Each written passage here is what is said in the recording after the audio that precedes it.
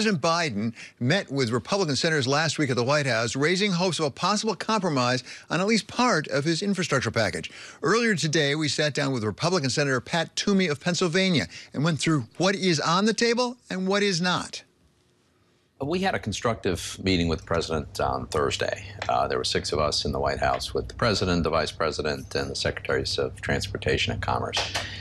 And what I was encouraged by is we were very candid with the president about what could possibly get Republican support, and he understood that. So, first of all, when we think about infrastructure, we're not talking about expanding the welfare state. That's a different category, different conversation. What we're talking about are the platforms and systems and things we use to move people and goods and services the way most people think of mm-hmm. infrastructure. So roads, bridges, airports, waterways, the traditional infrastructure. So that's our list. Now, there's overlap with the president. It's just that his list extends well beyond that. If the president is willing to work with us where we agree, that's that's step number one. That's very constructive. Step number two is we're not going to pay for this by undoing what we think was the most constructive tax reform in at least a generation. And you know, after the 2017 tax reform went into effect, just before the pandemic hit, we literally had the best economy of my lifetime. Full employment, rising wages, narrowing income gap. I mean, more job openings than there were people looking for work. It was as good as it ever gets, and I'd like to get back to that. I don't think you get there by undoing the tax reform that helped us. So that that's one. That's that's not on the table in in our proposal. Um, but I also don't want to just go out and you know, borrow and print another trillion dollars or, or whatever the number ends up being. Our number's not that high. But um, the good news in that front is that there are hundreds of billions of dollars that have been approved in previous bills, emergency bills as they were described at the time. But the money doesn't get spent for years into the future. Why don't we repurpose that money for something that I think most Americans would think is very constructive, which is building out our infrastructure. So I think there's overlap. Uh, we'll have another iteration uh, between Republican senators and the White House this week, and we'll see if we can make progress. So let's start where you started with what is infrastructure? What do we include in, in the category? Is there any room for expansion there? For example, you didn't mention broadband. Do you think broadband should be included? Well, so I think you can make a case for broadband. I, I you know, per, and there's some difference among Republicans on this, uh, and, and, partly it's because so much broadband has been built out by the private sector. Right? We have we have things that people think of as infrastructure that have historically been privately financed. The electric grid, for instance, the system of gas stations all around the country, broadband we could decide to do some more to supplement that. Um, I think most Republicans are open to that. What about uh, education? What about preschool education? I mean, yeah, you go back, a, if you go back to after World War II, the GI yeah. Bill probably was one of the best investments we made in terms of human capital in this country. Isn't there a parallel there between that and preschool education?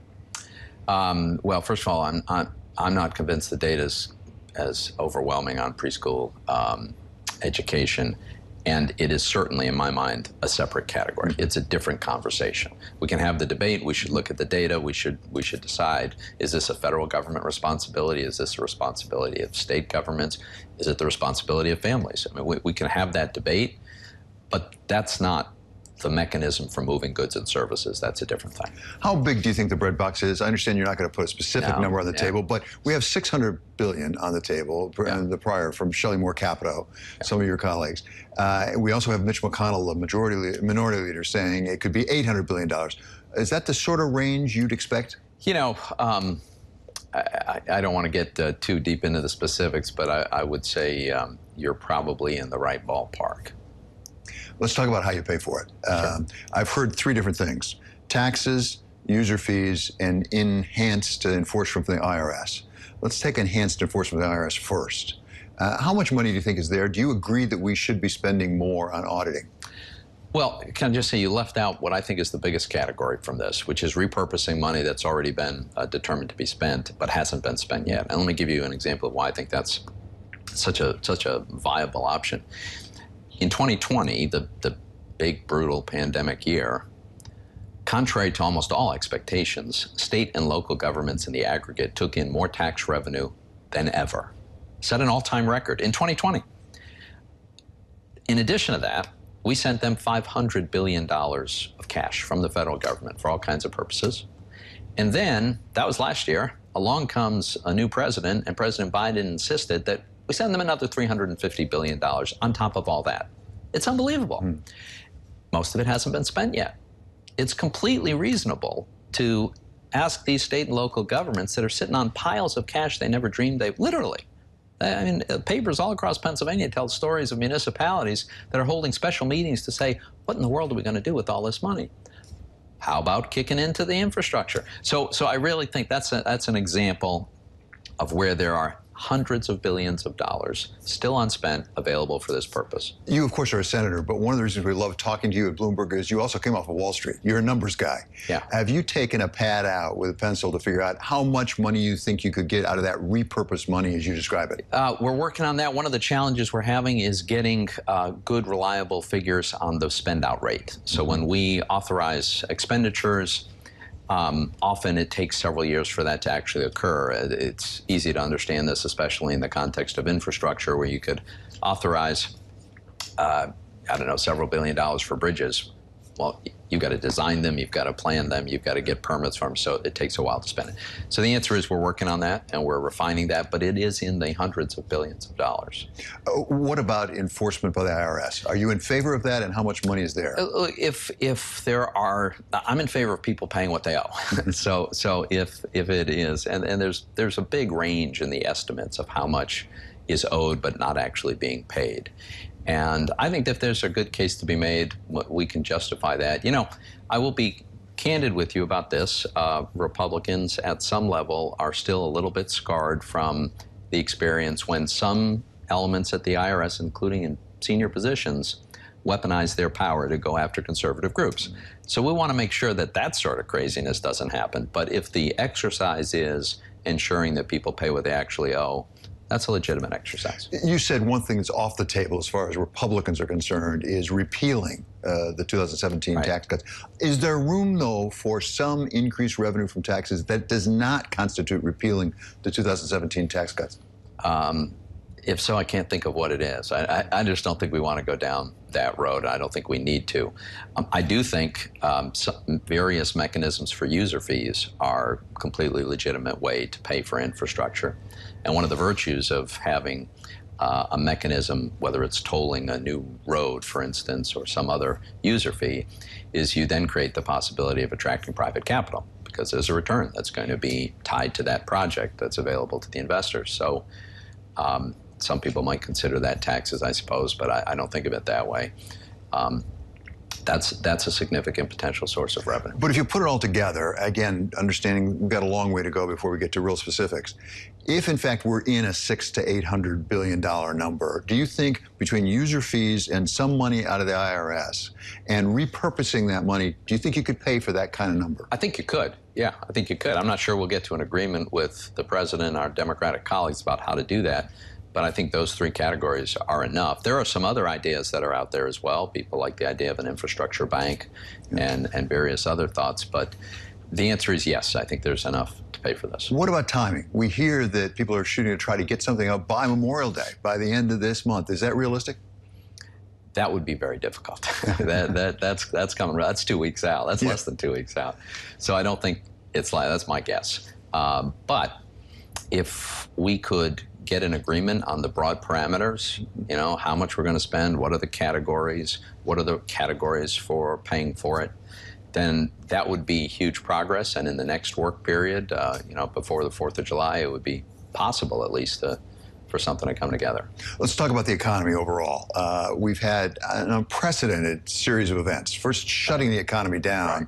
and then bringing it back, and, and, with unprecedented monetary and fiscal support. At this point, the models that we've used sort of are out of kilter. We can't predict what's going on. Where do you think we are right now? Because there's a lot of concern that with pumping all that money in, we may have inflation. Yeah, I'm very worried about that. Uh, the um, monetary policy is completely unprecedented. I mean, we had a, as you point out, right, the government shut down the economy to a very significant degree. The economy collapsed in the second quarter of last year. But in the third quarter, it came roaring back. Mm-hmm. and we are well on our way to a tremendous recovery, right? The economic growth is very strong. The argument for this calendar year is is it six, seven, eight percent? You know, really numbers that we're not used to thinking about.